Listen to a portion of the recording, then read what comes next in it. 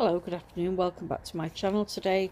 Back at the allotment and uh, this morning I went and bought this very nice kiwi plant. It's 14.49 from Golden Days Nursery. It's where I got the pomegranate from. And this variety is called Jenny. I don't know what that beetle is, just get rid of that. So I popped it in the ground here in the allotment because it's going to get to a quite a size and my garden isn't big enough. Um, so this section here um, is, oh, well, all of this is Shawanna's plot, and she's given me this little area um, to the side of, on the uh, right here where the tomatoes and squash plants. This is my little area that she's allocated me. But this area here is going to be all fruit bushes, so she's already dug some fruit trees in but I think that kiwi plant would do nicely between the rose bushes there um, because I'm not sure what's going to go in the middle of the plot.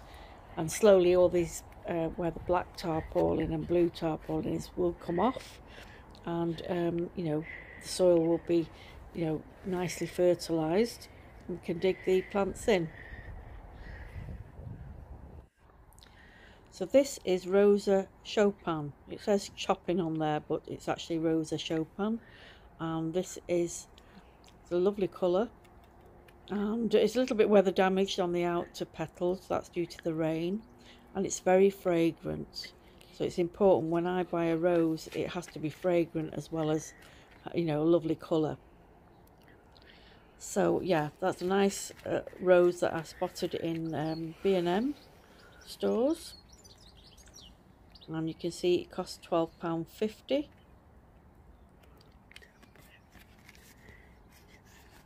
and on the back of this label it gives you some kind of indication of say uh, you know how how big it'll grow. It shows it's a plant got a plant passport from the Netherlands imported.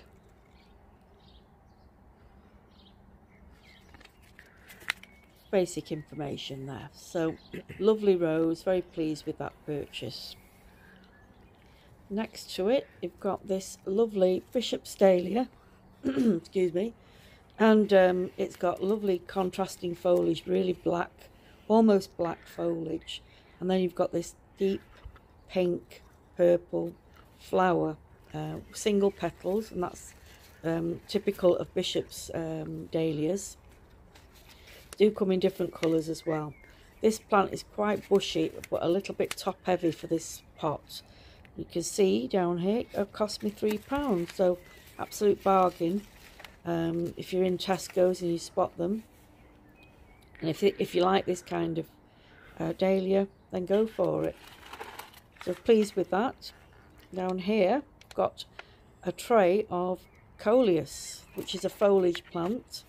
And uh, look at the stunning colours of these uh, the six individual plants here I, love the, um, the, the colours are amazing. I'm going to plant these out on my front garden, uh, in between the rose bushes. And I got this also from the same place. I got it from Tesco's and it also cost £3. So an absolute bargain, six plants for £3. And they do bush out, you know, once you get them going. So there there are my um, that's my plant haul for today. Thank you for watching. Take care everyone. Bye bye